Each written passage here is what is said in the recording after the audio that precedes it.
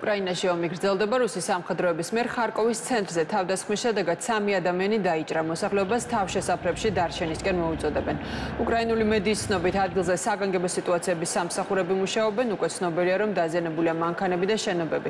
აფეთქების ხმა ისმოდა ჩერკასის რაიონში საჰერო ძალებმა უპილოტო საფრენი აპარატებით თავდასხმის საფრთხე გამოაცხადეს. ბოლო 24 საათში რუსმა სამხედროებმა უპილოტო საფრენი აპარატები 4 მიმართულებით გაუშვეს. საჰერო განგაში 7 რეგიონში იყო გამოცხადებული.